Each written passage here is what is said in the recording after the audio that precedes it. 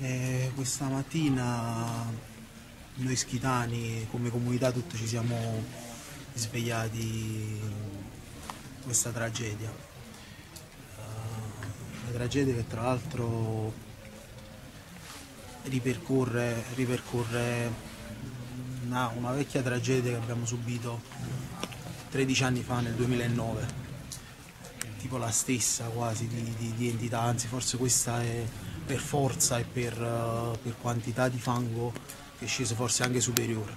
Che è successo specifico? A quanto pare uh, sembra che uh, la scorsa volta nel 2009 l'acqua abbia trovato un canale per uscire, per fuoriuscire.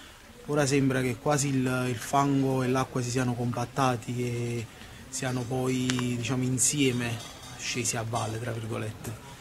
E, ehm, diciamo tutta la comunità adesso è un po' in apprensione perché ci sono nelle zone, nelle zone più colpite, che sono nella parte, nella parte alta, ci sono case che sono, sono state quasi sommerse dal fango e quindi si sta cercando di vedere se, se ci sono persone all'interno. La cosa drammatica è che ha preso tutto, uh, quindi per quanto possa sembrare magari difficile da credere, cioè ha portato via macchine, ha portato via lampioni, ha portato via qualsiasi cosa, ci sono delle, cioè ci sono delle macchine che sono messe in alto, di lato e, uno non, passando non, non si spiega come sia stato possibile questa cosa.